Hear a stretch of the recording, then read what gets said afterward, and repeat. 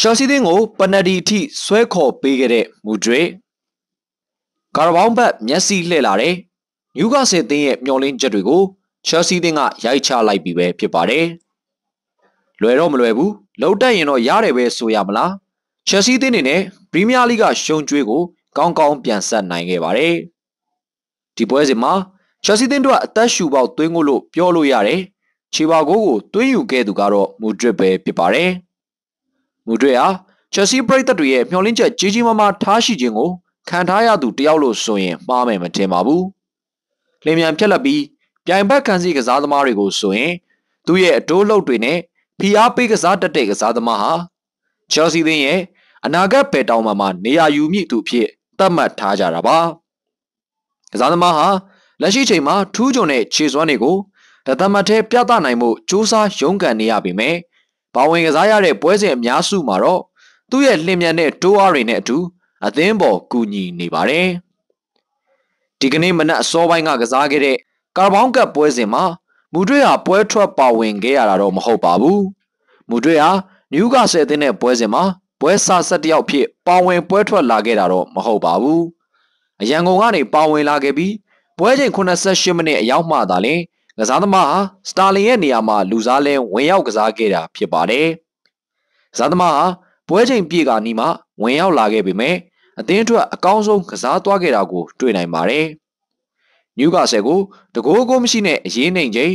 ချက်စီတိုက်စစ်ကစားသမားတွေရဲ့ကန်ချက်တိုင်းကလည်းအရာရာနဲ့အကြောင်းကြောင်းဆိုသလိုတလွဲလွဲတချော်ချော်တွေဖြစ်နေခဲ့လို့ချီပါကိုနဲ့ချယ်ဆီဝေးနေခဲ့ရတာပဲဖြစ်ပါတယ်။ဂျက်ဆင်ဆိုတဲ့ပြုံမနူးလေးကလည်း တိုက်စစ်မှာတတိုင်းတိုင်းကန်တတိုင်းတိုင်းလွဲဖြစ်နေခဲ့တာပါဒီဘဲကလည်းအန်ကန်ကူသာခြေစွမ်းပြရင်အော်တိုနေရာပျောက်မဲ့ဂိမ်းမှာတန်တန်ကြီးရှိနေပါတယ်ချက်စီတင်ဟာစုစုပေါင်း10ချိန်ထပ်မံနျူကာဆယ်တင်းရဲ့ဂိုးပေါက်ကိုချင်းချောက်နိုင်ခဲ့ပြီးအများစုဂိုးပေါက်တဲ့ခဲ့ပေမဲ့ကာဆယ်ရဲ့ဂိုးသမားလက်စွမ်းပြကာကွယ်နိုင်ခဲ့သလိုကာဆယ်ရဲ့ခံစစ်မှုတွေကလည်းချက်စီတင်ကိုခြေပေါက်ကိုပြန်လည်ခွင့်မပြုရဖို့စ조사ကာကွယ်ခဲ့ကြပါတယ်ဒီလိုနဲ့ ပွဲချိန်82မိနစ်အရောက်မှာတော့ချက်စီသင်းရဲ့ညာတောင်မှန်ကဖြတ်တင်ပေးလိုက်တဲ့ဖြတ်တင်မောကို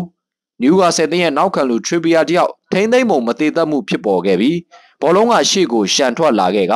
ထိုရှန်ထွက်ကျလာတဲ့ဘောလုံးကို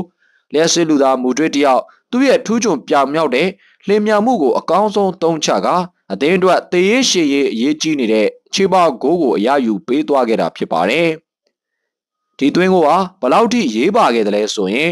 ဒီကိုအတွက်အမှားလုပ်ခဲ့တဲ့ Trippier တယောက်ပနဒီအထိပါရောင်ရောင်အမှားမှားလွဲချော်သွားရတဲ့အထိလို့ပြောရင်ရနိုင်ပါတယ်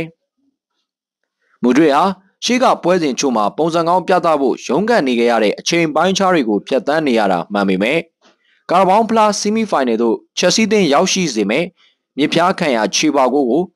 သွင်းယူပေးခဲ့တာကြောင့်ချီကျူးဂုံပြုတ်တင်မှာကြောင်းတင်ဆက်ရင်ဒီဗလီကိုတော့ဒီမှာပဲကျွန်တော်ကိုရနာဆုံးသက်ခွင့်ပြုပါခင်ဗျာ။ မူဒရစ်နဲ့ပတ်သက်ပြီးဂုံပြုတ်ကျင်နေဆိုရင်တော့အောက်က comment box ကိုအရောက်လှမ်းခဲ့ဖို့အားလုံးကိုဖိတ်ခေါ်လိုက်ပါတယ်ခင်ဗျာကျေးဇူးများကြီးတင်ပါတယ်